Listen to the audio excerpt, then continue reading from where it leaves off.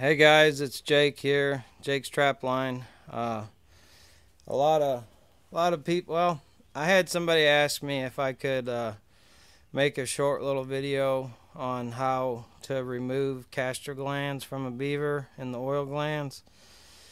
I know there's a lot of y'all out there that know what you're doing, but there's uh, a few people that have been trapping beaver for a long time and just sell the beavers on the carcass to the fur buyer and you know never have removed them but besides that I'm gonna go ahead and uh, show you how to remove the castor glands and the oil sacs from a beaver.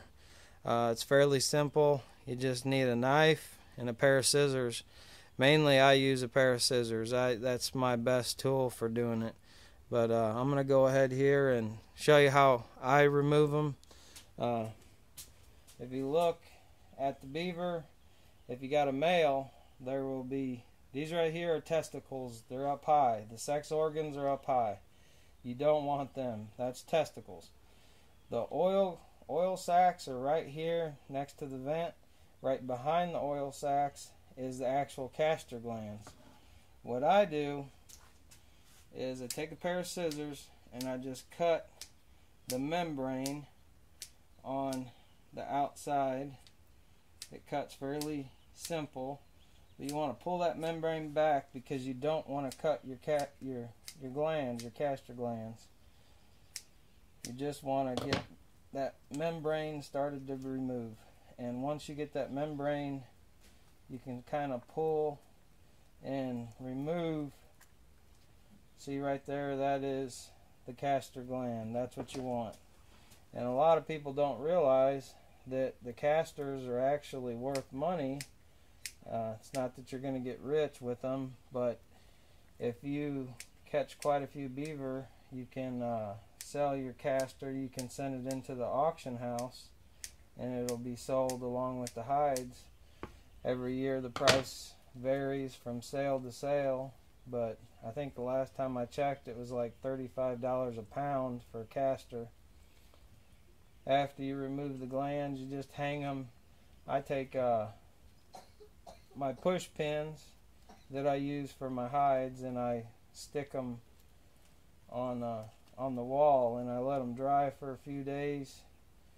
If I'm gonna sell it to the outside is dry the inside takes a long time to dry. You don't want to dry the inside but if you're selling them you want to dry the outside of the gland and then you just throw them in a Ziploc baggie or a jug you got in the freezer and freeze them. Now you can tell this is a male because he has testicles. There's his sex organ. Alright, we got them castor, the castor sacs pulled back. We are going to pull pull on this testicle here everything ties that's the thing with beaver everything ties to their vent. So we're going to clip that back leaving a little bit on there so your castor doesn't all come out when you cut it. And you pretty much just if you go gently and you pull that membrane back go nice and easy you can get your castor glands pulled out. And yeah, just about. and okay, and you pull back and you cut down there that ties to the vent. That's how I remove them. And then you have castor glands right there. Pretty small beaver, small castor. But what I do, like I said, I take a push pin and I like to because right where the vent tied in it's open a little bit I'll grab that membrane with this push pin push it through and then I'll tack them to the wall on my 2x4s and have them spread apart have something two more pins holding them apart so the air can hit them and then it'll dry. About two or three days drying in your garage and then you freeze them and then you can sell your castors. The oil sacks are pretty much the same way.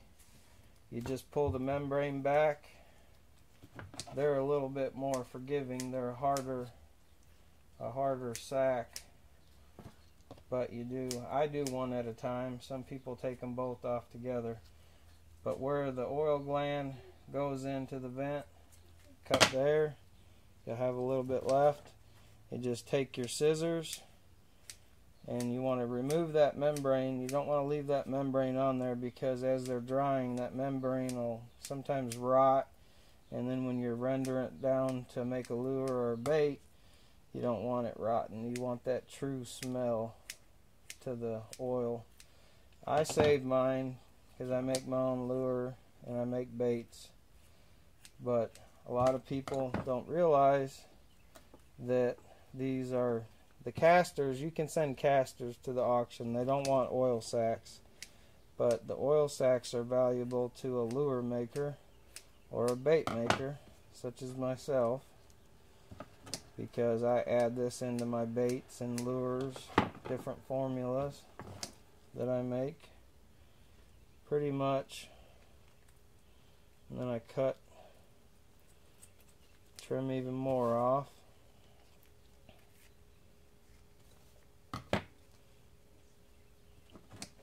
want to make sure you have all that membrane off now, I mean, it's okay to have a little bit on, but you just want to make sure all that big heavy meat is removed before you hang them to dry.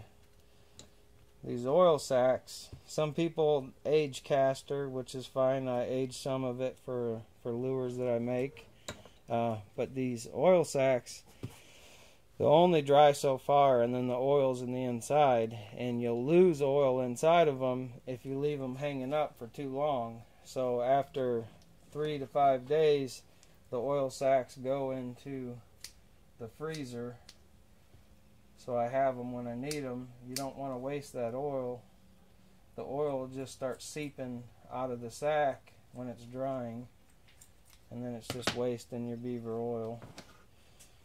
But same thing, just like I just done. Just cut that membrane off, get it started off. Some of it pulls off, some of it you can. But I never once used a knife here. Scissors, to me, scissors are easy. So, works good for me. Everybody's got their own deal that they do.